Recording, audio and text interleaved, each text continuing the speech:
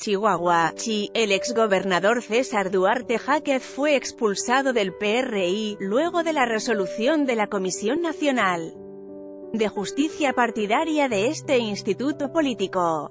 Fue por instrucciones del secretario técnico del Consejo Político Nacional, Ernesto Nemer, que instruyó al diputado Omar Bazán, presidente del Consejo Político Estatal del PRI, proceda con la expulsión del vallezano César Duarte. En días pasados, en su visita por Chihuahua, la presidenta nacional del PRI, Claudia Ruiz informó que solo faltaban días para que la Comisión de Justicia emitiera la resolución, que en ese entonces solo se encontraba en la suspensión de los derechos como militante al entonces priista el pasado 22 de octubre del año pasado, Ruiz Massieu, anunció la suspensión de los derechos como militante del partido, al exgobernador César Duarte Jáquez quien desde hace dos años presentaron los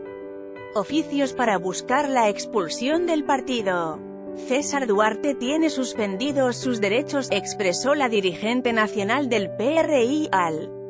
informar que se realiza un proceso que sigue en la Comisión Nacional de Justicia Partidaria, luego de los diferentes oficios que se han recibido para que fuera expulsado del partido por los supuestos actos de corrupción que cometió durante su Administración. En 2017 el partido emitió una misiva a la Comisión Nacional de Justicia Partidaria para que analizara las imputaciones en contra del exgobernador y sus exfuncionarios también del mismo partido para así proceder en función de lo que establecen los estatutos. Lee más de El Heraldo de Chihuahua local planea Corral pedir más créditos local, justicia para Chihuahua, ampliará a otros estados local inspecciona oficina de transporte a ruteros en la ciudad.